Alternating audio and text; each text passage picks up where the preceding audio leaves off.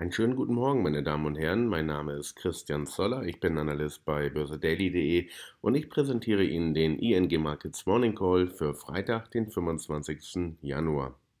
Gut, fangen wir wieder mit unserem Rückblick an. Am Vortag hatten wir ne, die Markierungslinien hier bei 11.030 hellgrün gehabt und ähm, dann 11.100 rot und 11.130 ne, dunkelrot. Und ne, das war dann auch die Tagesspanne ungefähr, also im Bereich von 11.030 wurde das Tagestief erreicht. Ne, hier hätten sich dann eben Long-Positionen angeboten und ähm, im Bereich hier von 11.100, 11.130 ungefähr lag dann ne, das Tageshoch. Ne, der Aufwärtstrend ist weiterhin intakt. Wir hatten ja am ne, Nachmittag, am Vortag da ein wenig geschwächelt gerade nach der ne, Pressekonferenz der EZB. Ne, da ging es dann ein wenig nach unten, unter 11.100 Punkte. Und ähm, da wackelte der Aufwärtstrend ein wenig, aber ich hätte dann ja im Kommentarbereich auch geschrieben unter dem Video, ne, dass der Index wieder über 11.100 Punkte ansteigen muss, damit wir weiterhin im ne, Aufwärtstrend bleiben und der, der Kreis weiterhin blau bleibt. Wir sind dann mit 11.130 Punkten aus dem Handel gegangen mit einem ja, kleineren Aufschlag von 0,5 Prozent. In der Nacht ging es dann aber deutlich hoch und wir werden höchstwahrscheinlich am heutigen Freitag mit einem Gap-Up eröffnen. Ne, der DAX befindet sich ne, vorbürstlich bereits im Bereich hier von 11.190 Punkten und damit auch nicht mehr weit entfernt von der markanten Widerstandslinie hier im Bereich von 11.200 Punkten.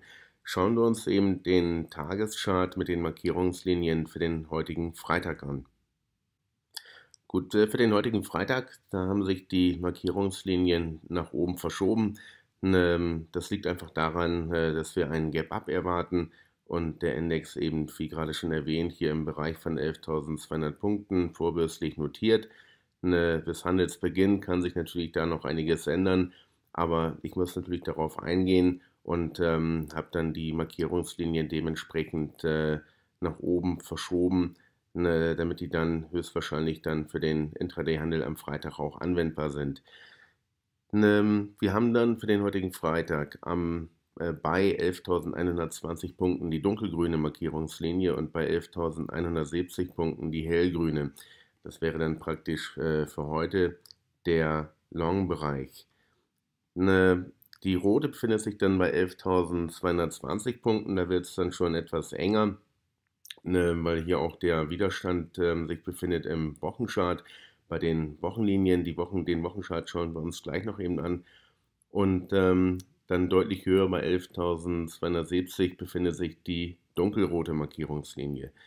Also in diesem Bereich hier 11.200, 11.220 da äh, müsste man dann schon auf Schwäche-Signale ne, achten. Sollte der Index dann im regulären Handel ne, diesen Bereich hier nach oben durchbrechen, dann würde sich höchstwahrscheinlich die nächste Anlaufmarke hier ungefähr bei 11.270 Punkten befinden. Der Aufwärtstrend ist weiterhin intakt, ähm, der Kreis ist weiterhin blau und ne, sollte sich das ändern, dann werde ich das natürlich im Kommentarbereich unter dem Video dann direkt schreiben. Hier haben wir dann den Wochenchart. Ne, der hat sich bei den Markierungslinien nicht geändert. Wir sind weiterhin hier im Bereich ne, zwischen der roten 11.050 und der dunkelroten Markierungslinie bei 11.200 Punkten und ähm, ja, befinden uns jetzt hier direkt, wie schon erwähnt, äh, bei dieser dunkelroten Markierungslinie vorbürstlich. Ne, bisher hatte, haben diese Markierungslinien uns ja immer ganz gut ähm, im großen Bild geholfen.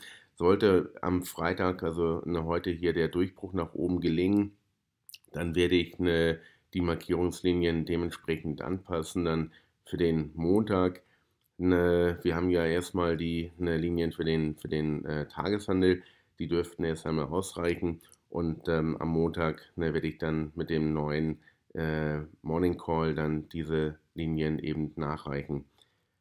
Gut, dann eben äh, zum Abschluss noch den Monatschart. Ne, der ist ja vielen von Ihnen schon bekannt. Den hatte ich ja schon ne, immer wieder hier präsentiert. Gerade eben, weil er im großen Bild auch äh, enorm wichtig ist. Wir haben ja hier die untere ne, Fibonacci-Linie vom langfristigen Fibonacci-Faker. die läuft hier schon seit äh, über zehn Jahren. Und nun hatten wir praktisch im Vorjahr hier dieses Tief erreicht am unteren Fibonacci-Fächer bei 10.500 Punkten und sind dann hier nach oben abgeprallt und ähm, befinden uns aktuell eine, noch in einer Aufwärtskorrektur im bestehenden Abwärtstrend. Allerdings könnte hier auch langfristig ein Trendwechsel stattfinden, genauso wie hier äh, in der Vergangenheit ne, es an diesem Fibonacci-Fächer dann langfristig wieder nach oben ging. Also dies bitte beachten. Ne, wir könnten uns im großen Bild eben an einer Wendemarke befinden und es ist nicht klar, ne, ob wir doch wieder nochmal wieder ne, nach unten kommen und ähm, diesen Bereich hier von ne, 10.500 Punkten oder tiefer anlaufen. Gut, dann wären wir wieder durch für heute. Wichtig ist vor allen Dingen heute die Marke von 11.200 Punkten. Kann der DAX hier diesen Widerstand nach oben durchbrechen? Und äh, wenn ja, wie weit würde dann dieser Durchbruch gehen? Laufen wir dann direkt 11.270 Punkte an? Und ähm, kommt es dann in diesem Bereich doch nochmal eben zu einem Rücklauf oder eine, brechen wir nun wirklich weiter nach oben durch und ähm, nehmen dann Kurs auf 11.500 Punkte? Ich melde mich wieder im Kommentarbereich unter dem Video und äh, wünsche Ihnen natürlich viel Erfolg im Handel und ähm, ein erholsames Wochenende. Und am Montag melde ich mich dann wieder mit dem ING Markets Morning Call. Viel Erfolg und machen Sie es gut.